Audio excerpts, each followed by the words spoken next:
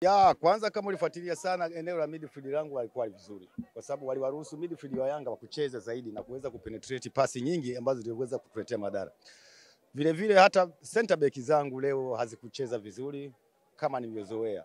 Nafikiri ni baada ya kuona wanacheza na timu ambayo ni maprofessional wengi, na uki, ukiangalia wachezaji wangu wengi wako form 1, wengine darasa la sita, wengine kidato cha pili. Kwa hiyo bado tunaendelea kukuza. Mimi binafsi naona kwa namna walivyocheza wamejitahidi japo tumefanya makosa mengi na tumeadhibiwa kwa idadi kubwa ya magoli, lakini najua kadri tunavyozidi kucheza na hawa vijana wakazidi kuzoea, tutakuwa na timu bora sana.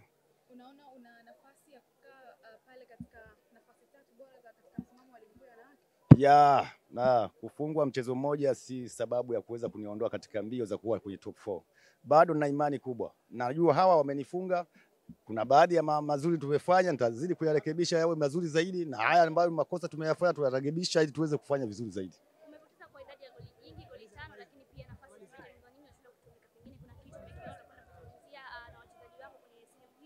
Ya tumefungwa idadi kubwa ya magoli na tumetengeneza nafasi za kutosha za kuweza kuscore magoli, tumeshindwa kuzitumia. Nafikiri ndio kile kile nazungumza, bado wachezaji wangu ni vijana wadogo, bado hawajawa na uzoefu. Kuna makosa mengi tumefanya ambayo najua tunakwenda kukaa chini pamoja na watoto hawa tuweze kuzungumza ili tuweze kufanya vizuri zaidi, na bado dirisha dogo halijafungwa. Nitakwenda kukaa na management niangalie namna gani wanaweza kunisaidia nipate striker hata wawili watatu wa kuweza kupush timu.